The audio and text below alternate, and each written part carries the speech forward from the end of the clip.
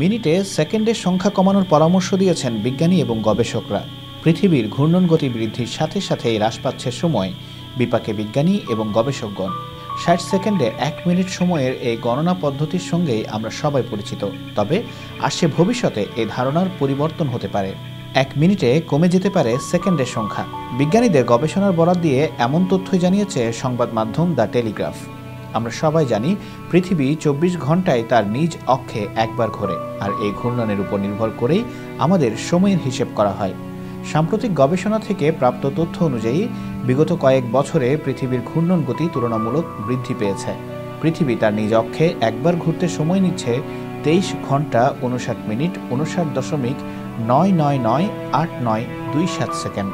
এর ফলে দু হাজার একুশ সাল সাধারণ বছরের থেকে উনিশ মিলি সেকেন্ড ছোট হবে, যা গড়ে প্রতিদিন প্রায় শূন্য দশমিক পাঁচ মিলি সেকেন্ড কম। সময়ের এই অসামঞ্জস্য নতুন নয়। হ্রাস পাওয়ার সময়ের হেরফের সমাধান করতেই কোনো কোনো বছরে এক লিপ সেকেন্ড যোগ করা হয়। ষাটের দশকে আণবিক ঘড়ি আবিষ্কারের পর থেকে এখন পর্যন্ত সাতাশ বার এমন লিপ সেকেন্ড যোগ করা হয়েছে।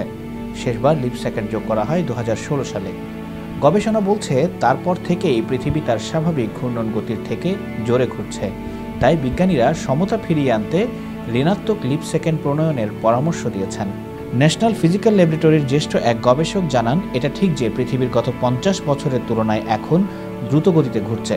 পৃথিবীর ঘূর্ণন গতি আরও বাড়লে হয়তো নেগেটিভ লিপ সেকেন্ডের প্রয়োজন হবে, যদিও এটা সম্ভব কিনা তা এখনই বলা যাচ্ছে না। আন্তর্জাতিক পর্যায়ে আলোচনার মাধ্যমে এই লিপ সেকেন্ড বিষয়ে সিদ্ধান্ত নেওয়া হবে।